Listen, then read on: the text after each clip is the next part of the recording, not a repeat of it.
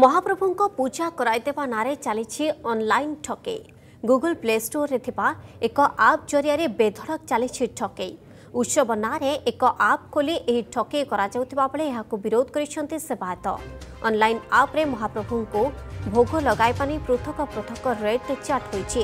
ବିଜ୍ଞାପନରେ ଉକ୍ତ ଯେକୌଣସି ସ୍ଥାନରୁ ଥାଇ ଅନ୍ଲାଇନ୍ ବୁକିଂ କରି ଭକ୍ତଙ୍କ ଘର ଠିକଣାରେ ଶ୍ରୀମନ୍ଦିରର ଶୁଖିଲା ଭୋଗ ଓ ନିର୍ମାଲ୍ୟ ପଠାଯିବ ବୋଲି ଅଫର ଦିଆଯାଇଛି ଏହାକୁ ବିରୋଧ କରି ସେବାୟତ କହିଛନ୍ତି ଶ୍ରୀମନ୍ଦିର କିମ୍ବା କୌଣସି ନିଯୋଗ ତରଫରୁ ଏଭଳି ବ୍ୟବସ୍ଥା ହୋଇନାହିଁ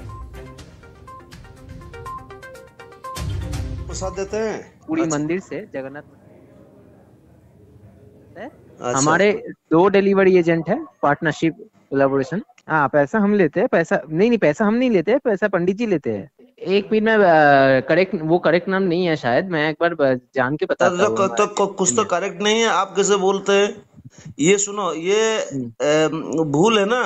जगन्नाथ टेंपल से परमिशन लिया ना ही आप छातीसा निजोग से परमिशन लिया ना ओडिशा गवर्नमेंट से परमिशन लिया आप तो किसी से परमिशन नहीं लिया।